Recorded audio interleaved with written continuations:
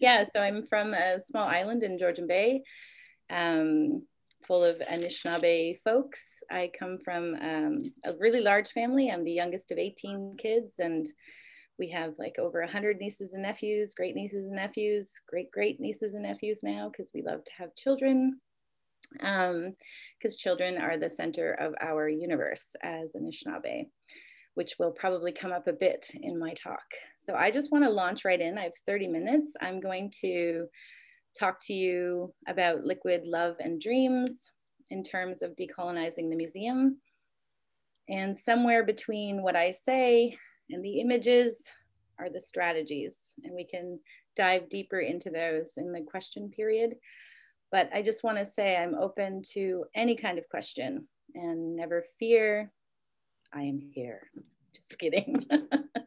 I'm gonna take a minute to put on my, uh, my presentation. I wanna say that I'm also, my form of a land acknowledgement is to say that I stand in solidarity with all of the First Nations um, in both of our territories, all of our territories of everyone who's on this call in their struggles for self-determination, for sovereignty, and in their work to protect the land and the water and the health of health and love of their communities.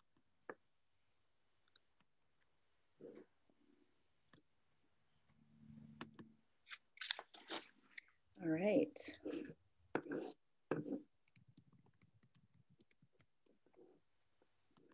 Hope it's working.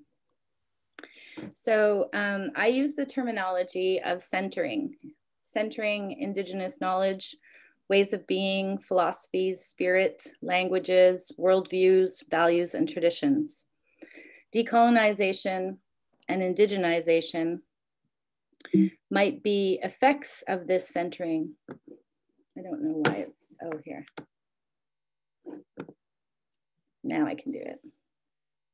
Might be effects of this centering, but are not what I'm aiming at. I am aiming at self-determination and sovereignty of our peoples, in the museum context, I aim at what is currently our desires and how it is expressed within art, how artists and the field as a whole is supported by my work with an eye towards our futures. I will speak from decolonization towards what I see as my actual project. I will couch our look at art in terms of liquid love and dreams in order to give some ideas to you as starting places. And as I said before, in between the image and my words are the strategies. It's fun for me to do it this way because I, I, talk about this in all different kinds of ways, um, but it's not final, it's not complete um, in terms of the work I do or the projects of equitable museums. So what you're looking at here is um, an event uh, called Art in the Language. Um, that was one of the th first things I hosted at um, the Art Gallery of Ontario where I work, which is the largest museum in Canada. So imagine a full city block. It's a, it looks like a big kind of ship or a big whale. It's quite beautiful if you've never been. Um, and this space is Walker Court. So it's the heart of the colonial building that the Art Gallery of Ontario is built from, on top of, and around. So thinking about space in terms of it's the actual center of the building and it's what you come into when you enter the space. Um, so elders here are speaking in their language. And um, you'll see, here's one of the elders down in the right-hand corner uh, Shirley Williams. And Shirley Williams um, is one of the is one of the elders that's at the forefront of language revitalization, and Anishinaabe language revitalization. Um, she worked really hard to hold on to her language through the project of cultural genocide and assimilation that is residential schools and i think in the states they call them industrial schools but it's the same same idea and um, here she's speaking with a few, a number of elders and an artist, Robert Houle, who's in the blue jacket. And Robert Houle's work is framing um, this uh, space. So you see these drums that are up on the, close to the ceiling. There's, there are seven of them, and they are the seven grandfathers, which is kind of forms the backbone of Anishinaabe philosophy. It's our value system. Love is one of those values. Humility, courage, bravery, all these things are, are form a kind of back, uh, backbone to our value system and how we raise our kids and also how we kind of figure out how to live a good life. So one of the things um, that happens when you are an Indigenous person in an institution is you have relationships with Indigenous folks. And so Robert and I have a relationship. And so we were talking about this work, and he said, Well, you know, they've never been activated. And in, in, in our culture, uh, drum is not alive until it's feasted by the community, by people you invite. And that uh, essentially brings the spirit of the drum to life. So from his point of view, it hadn't happened. And these had been up already uh, for a couple of years. And no one had ever asked him, and he wasn't going to press the issue because he didn't want it to be a cultural spectacle. He wanted it to come from a real place of engagement. And so we had a conversation about this. And one of the ways that he wanted to activate it was through the jingle dress and through the drum. And we added in this conversation because part of how I see my work is to challenge kind of dogma around Indigenous art as well. So, one of the dogma is there are no words for art in our languages. And I think that's true in the sense that you can't translate art to our to our language but we have so many ways of thinking about what art is and what kinds of art we have created for millennia and also it roots us in the idea that our art is the oldest art of this land. And so our history should start from there. Um, for, I'm gonna, so this was at the McLean Center for Indigenous and Canadian Art opening. So it becomes something that we always do now. We're always have to have a drum going in that room. Um, so you make a commitment to these things. And the sound of the drum reverberating through all the European galleries that are on that floor is also part of what was happening that I found um, quite profound. And who knows what the spirit of that drum is doing inside those paintings and inside those rooms and inside of the bodies of folks who are sitting there. For colonized people, the most essential value, because it's the most concrete, is first and foremost the land, the land which will bring them bread and above all dignity and that's Frantz Fanon, Wretched of the Earth. So these are my two pillars. The other one, the other quote, this time has come. The time has come. Water is something we cannot negotiate, something we cannot compromise. It is seemingly abundant, but in reality, it is in grave danger. And my duty as a woman is to defend our water and to protect life. Water is life. And that's Nina Waste, who's Lakota Dakota Cree, and one of the founders of the Idle No More movement, to which I was an organizer for three years of my life and still work in some ways. Um, but now I take that kind of uh, framework and I bring it inside a museum instead of into the streets. Um, this is a work by Rebecca Belmore, just to say also that um, here's an actual experience of bringing liquid into the museum where she wanted to place clay on stone. That's the title of the piece, Clay on Stone. And she wanted to create this huge abstract painting with an organic material that wouldn't stay, that would disappear, would be is um, would be washed away.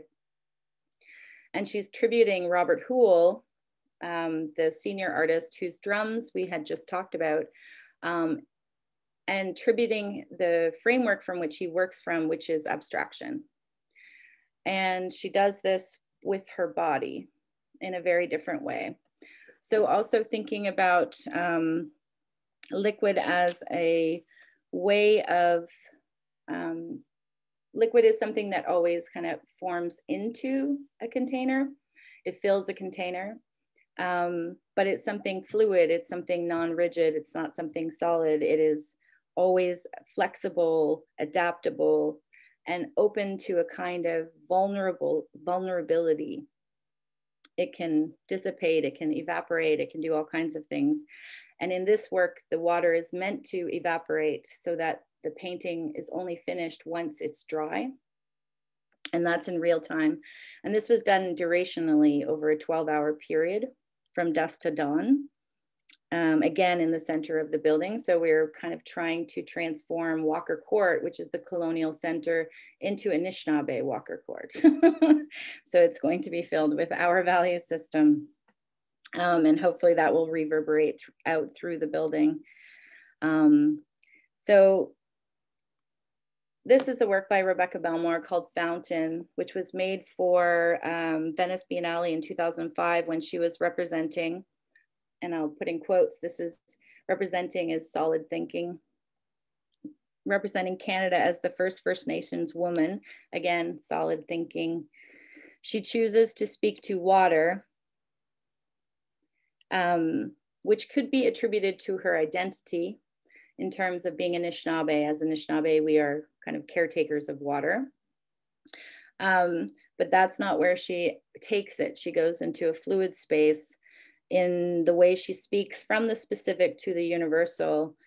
Um, she wants to talk about a world war on water. And in 2005, she saw forward and thought, one day, with the way that we operate as human beings on this earth, that water will be the thing we fight over. And I think that that is becoming super more clear now. But at the time, um, she takes this bucket in the in the performance um, in the video and she takes water out and she struggles and she throws it against the screen. And as the screen hits the wa- as the water hits the screen it turns blood turns to blood. And so you can imagine these italians at the time who aren't thinking about water at all. And you're in venice and you see even if you go there today i drop tobacco in the water all the time because i'm so sad for her and how dirty she is. And how mistreated she is. And um, they just kept asking themselves, like, why is she throwing blood at us? We have nothing to do with colonization. so they couldn't understand their own connection to this issue of water yet because uh, the way their society has developed has really divorced them from that relationship in their own history. Um, so um, I feel like this work was way ahead of its time and it didn't worry about being liked. It's literally liquid, which creates an excess in the building, um, a building made for paintings and solid objects, sculpture. And um, because it's a flowing fountain in the space, they had to figure out where all this excessive moisture is going to go. So one venue on our tour couldn't show it because it was too close to a Picasso. Even though the Picasso was in another room, and so there you, you have the inauguration of the traditional hierarchy of art. Painting first, and the focus on video performance and installation does challenge the boundaries of the encyclopedic museum, both as form and content. So blood into water, water into blood, it is a motion of transformation that interests this artist. As she throws water, which turns to blood and it hits the screen, the screen goes blank and all you have is the water running. I was thinking a lot about liquid as life, as the very essence of life, and um, the way in which museums don't really treat their staff as humans, you know, but as workers. And it was fascinating to watch the staff continually go and gather in this room to meditate on their breaks. They always felt really relaxed in this space um, even though the content is quite, you know, intense. And that was because of the water itself, the actual organic material. So negative ions exist wherever there is water, wherever water's colliding, like in a waterfall or a fountain. Um, and that has positive effects, which have been, we knew for forever, but you know, science now shows that it elevates mood and it reduces depression. So these are some of the kind of ways in which a single artwork can have multiple effects and also multiple ways that we have to think about who we are inside of a museum. So even my body as a boundary or as a solid, that's what we focus on all the time, my identities or, or the, the, the line of my skin. Um, but really, if you look beneath that, it's all water and it's all flow of energy. So how can we think about that differently? And the drum is one place where that happens. I was in a event one time with an Inuit, uh, an Inuit uh, man, elder, and he was using their drum, which is different than ours. Um, and he said the reverberation of the drum, once it hits your flesh, um, is meant to make you feel it dissipate. So you can no longer see feel the the separation of your flesh from the air around it. And it completely transformed the way I think about the world when I had that experience of that particular drum and stopped seeing myself as superbly separate. So the prefix de in decolonization means to remove, reduce, and or produce the opposite of colonization. And this is a production of the opposite. It seems the first step would be to understand colonization as the theft of land and liberty from indigenous peoples. This connects any person, this connects any process of decolonization to the prefix re, re. For the reason, for this reason, decolonization means let giving land and liberty back to indigenous people. It also means um, letting indigenous people lead that process. Decolonization is a word to describe a large number of processes of restoration, reparation, and restitution of Indigenous lands, bodies, cultures, and communities. It encompasses healing oneself by unlearning toxic stereotypes and historical lies. It also means changing social, economic, political, and legal structures and we will talk about why this matters in the context of the museum. My goal is to inhabit this world as a free human without oppression or hindrance, to live as a Anishinaabe in my own lands, with my language, with my community, and with my culture intact, such that I can pass it to my children, my grandchildren, a future where my culture is not ossified in the binary of pre contact and colonized, where transformation, freedom of movement, and chance, which are Anishinaabe values, rather than authenticity, unchanging tradition, stasis, and predictability are the basis of my worldview. And that's the colonial side. So the other part of liquid is that um, indigenous land is often thought of as a solid within you know, private property concepts, um, land claims, this kind of thing. But what we're really, when you're flying above it, whether you're in astral travel or in a plane, you can tell that the land is mostly water. It's very liquid, it's very fluid. Um, there are no straight lines. The only straight lines you will see are logging roads and mining roads and town roads, all the incursion of colonialism. Um, so decolonization involves unlearning and changing the base of colonialism in the concepts of private property, manifest destiny, discovery, enlightenment, Eurocentrism, Cartesian dualism, which separates mind from body, doesn't even include the spirit, heteropatriarchy, capitalism, positivism, sexism, racism, individualism, extraction, and I mean that in all ways, both knowledge, plant, and earth, um, mineral, classicism, violence, and control. And these are only to name a few. I mean, we could spend a long time filling this up. But what it means is that these things, these are what we need to study in order to understand how not to re repopulate them within the work we do in the museum. And this is an image of that. so this is called Edifice by Michael Belmore and an edifice is both the kind of you know the the front of a major building like our parliament. An edifice is also the kind of belief system that gives rise to something. So like capitalism you know it's the the edifice of um, the beliefs that give rise to the edifice of capitalism. And for us we're talking about how these things are interlinked with colonialism.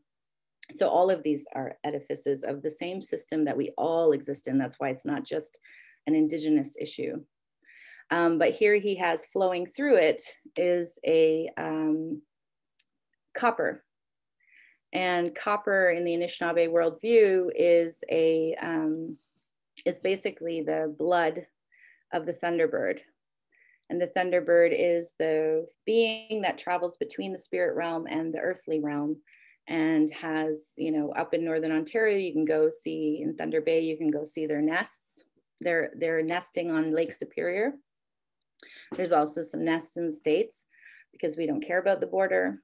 Um, and so he's put that in there as a way to kind of signal that while all of this is happening, the, there is all this life and all this power that's coming cracking through and breathing through um, at the same time. So um, decolonization should challenge all that is thought to be proper and normal in current settler colonial states. Decolonization should challenge that. Museums are solid in their focus on objects rather than process, connection, and the flow across the borders of outside and inside. This is a work by Winsom, who um, is Afro-Indigenous. Um, it was an installation called I Rise um, in 2019. And here you see there's a bowl of water with a crystal in it. And this small red bench uh, had a slot in it, and you could write down love notes or memories to somebody who had passed away. And all of those, um, everybody would come in and you could put those inside the box and they would join everybody else's love notes to um, those who had passed away. And this is the altar. So I would come through the gallery all the time and I would see people praying at this altar, all different kinds of people. It didn't matter what religion, didn't matter where you come from. Um, and it really, um, Winsom really taught me something about the way in which a museum could be a space of spiritual transformation. Um, if you can get people around the idea of having a bowl of water and having a bunch of dirt and all kinds of things that, that are hard to um, deal with through security and audiences. Um, but really, really, no one messed with this piece, not one person because of the content of it because they can tell what it is you know they can tell that this is something spiritual happening here that you don't want to mess with that right you wouldn't go into church and and start messing with well maybe you would i, I might but you know generally you shouldn't if you're going to be respectful. Um, but also what's part of this is um, liquid and this notion of intergenerational trauma um, that often artists leads us down this path of spirit and allowing for prayer and grief in the gallery. Um, and that is one of the ways in which decolonization happens. So love. So part of the expression of love lies in our ceremonies and political movements. Here um, is here is one from taking something from Idle No More, which I referenced earlier, and bringing it inside the gallery. So one of the main forms for the Idle No More movement, which also hit the States, uh, was the round dance, where everyone kind of joins hands and dances in a, in a circle and songs are sung. This movement was about protecting the water. And we wanted to connect um, the exhibition of Rebecca Belmore's work to the movements that were happening across um, the nation because uh, this is where we both stand. This is who we are. Um, and these things aren't separate from each other, um, the inside and the outside, to the real political movements. And bringing their form straight into the gal gallery also bring the people that that form speaks to. So it brought in a whole slew of folks from, and people traveled by bus, they came by train just to be here for this um, round dance because it never been performed inside the gallery before and they knew what it what it signified in terms of unification between the struggles of the people and the work of the artist which is something rebecca is really deeply um, tied to it also speaks to the emotional space of the museum. And this is something that um, I believe de decolonial work is has to be about too, um, is the affect, our bodies, the emotion side of life. So the round dance represents a young girl who was grieving for her mother and uh, her mother had passed away and she couldn't stop grieving and so it was affecting everybody it was affecting the community and they hurt for her um, so she went away and this dance um, came to her and it was brought back to the community and they were to perform it collectively all together to turn her grief into celebration and so thinking about the fact that we carry all this grief you know 500 years of grief um, the museum can't just um, get rid of that. It's part of that grief. It's part of the process of that, uh, what has caused that grief. And so therefore the processes of alleviating that grief also have to be part of museum work. So de decolonization involves the centering of indigenous ways of being, knowing, and loving. As Anishinaabe Kwe, it's my responsibility to care, take care of that earth and her lifeblood, the water, and to nourish the many generations to come without the return of land bases, we will not be able to get out of poverty. And the sculpture that you see here, these two sculptures, Tower and Tarpaulin, are directly about poverty, directly about homelessness. So to think that we keep building towers up as very few people are, as more and more people are living under blankets on the street. There's more to this than that, but I'm going to go quickly. Um, so our poverty is a direct policy of colon colonialism and led to the wealth of today's West, all of it. Why we have to build museums, um, it's why we have to build museums that the poor want to be in and can afford. The culture of poverty and working class and underemployed needs to be taken into account when deciding what is proper behavior in a museum. At the same time, looking at art of the wealthy and powerful, say in historical parts of the museum in Canadian and American wings, can often feel violent to some audiences, like an affirmation of the status quo and a victory dance of the settlers. This is not love. Reframing these works can sometimes help. Get underneath them. What does a portrait of a powerful person serve? What are the effects of its exhibition? what happens when you place it with other work um, by contemporary Indigenous artists. Landscapes function in a similar way. Land bases, I did a land claim in the building of our art gallery um, so that the space um, is kept growing for where Indigenous art could be, where, where you could exhibit it and what was designated um, for it. Uh, and part of that is is to take a kind of political structure, which is the, the segregation of indigenous people onto reservations and say that it's still happening in our cultural structures as well. And we have to undo that segregation and undo also the fact that reservations were about shrinking down our land bases smaller and smaller. So we also can't do that in the museum. This is a work that you're looking at by Tanya Lukin Linklater, who's paying tribute to Rita Letendre.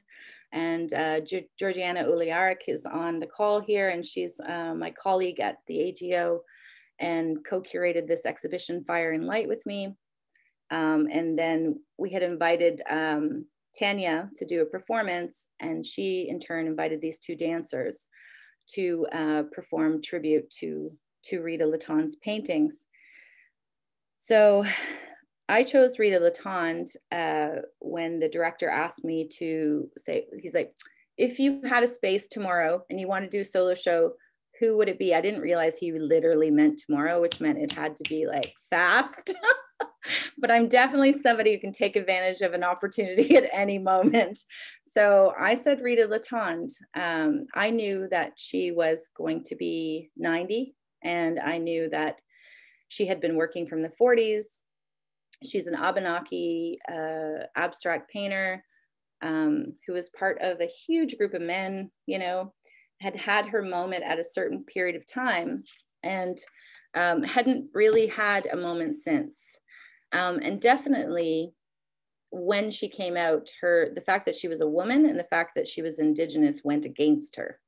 But now here we are making those things work for her and we translated the text into her um, her indigenous language and part of it was to to help also make it clear that we're not in the same time anymore So she had to hide her indigeneity to be bought by museums, and we don't have to do that anymore.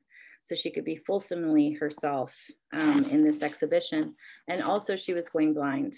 And I wanted her to see her last show, her big show before, you know, she couldn't see it anymore.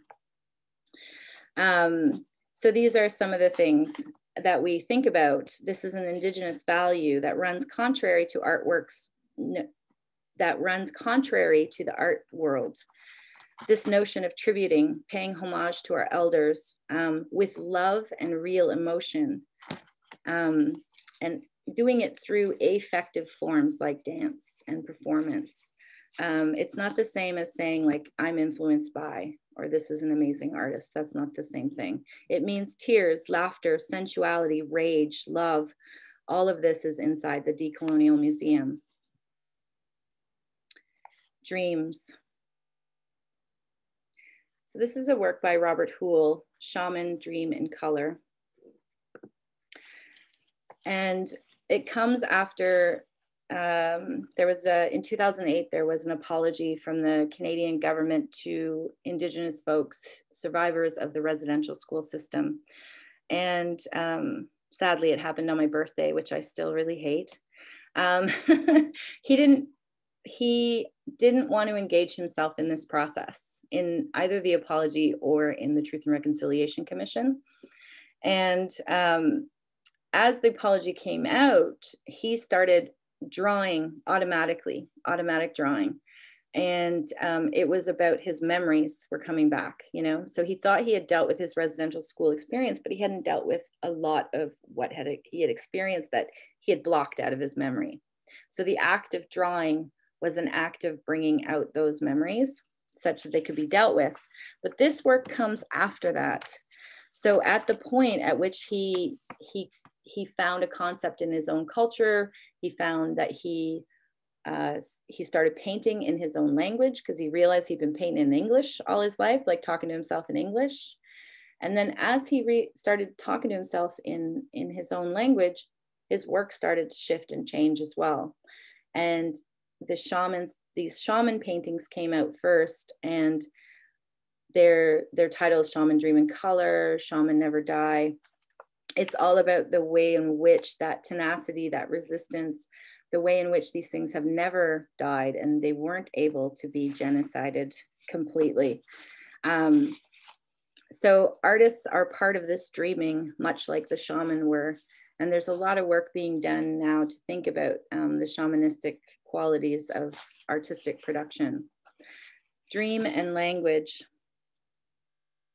So following from what Robert had realized, um, we started translating um, exhibition and permanent gallery spaces into uh, the language of the land, which is Anishinaabemowin.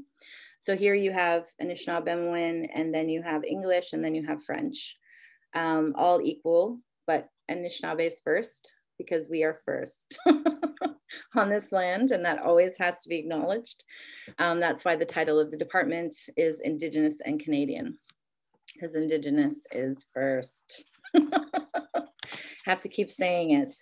Um, so some of the aspects of this, it's a land acknowledgement, but it's more than that. Um, I was interested in the translation of art language into our into our language, where are the spots where something is untranslatable? Where are the spots that are going to be like we have to develop a new word?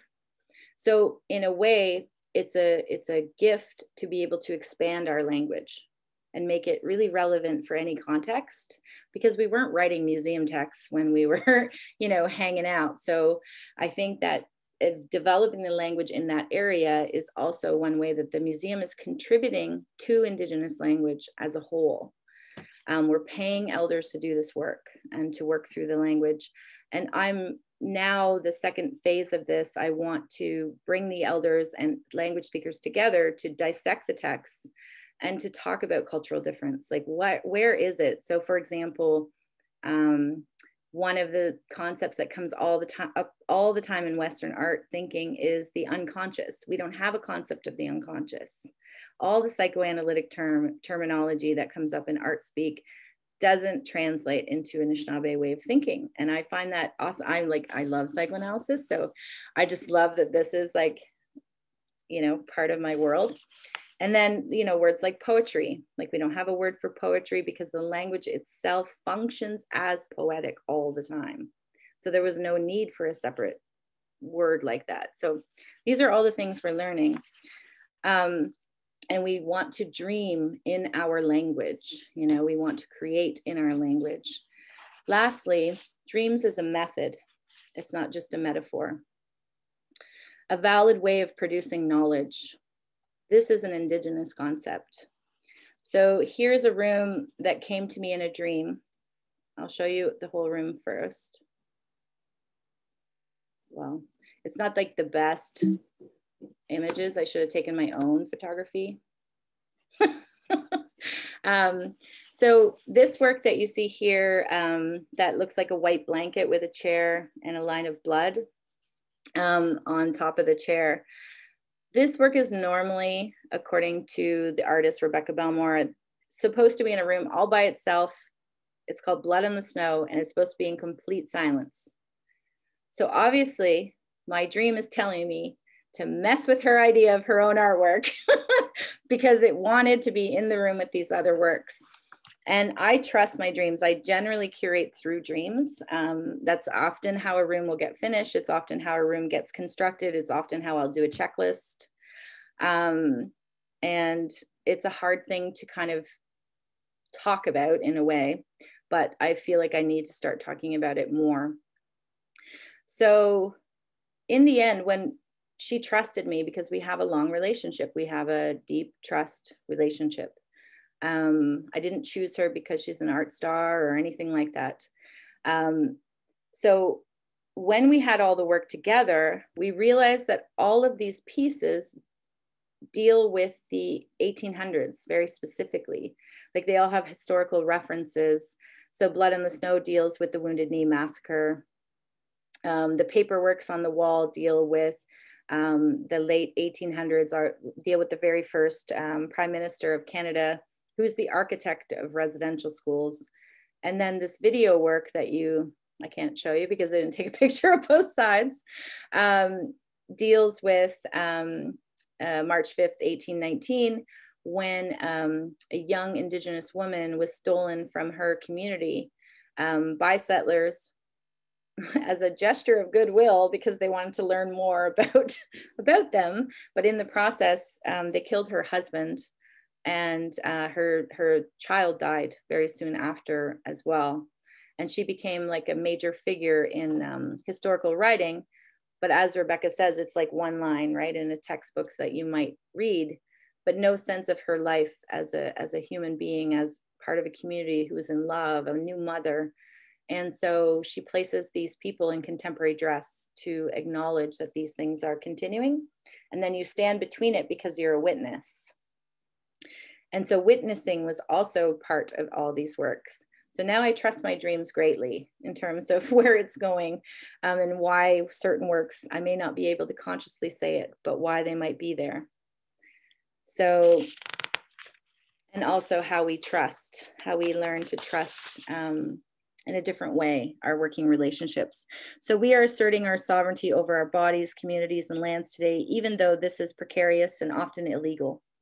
Every drum, song, painting, installation, and performance is an act of freedom aimed at an Indigenous future. Our collective traumatic past still contains the seeds for times we have not yet lived. Futures that are dreamings instead of the horrible hauntings of colonization. So I'll end it there.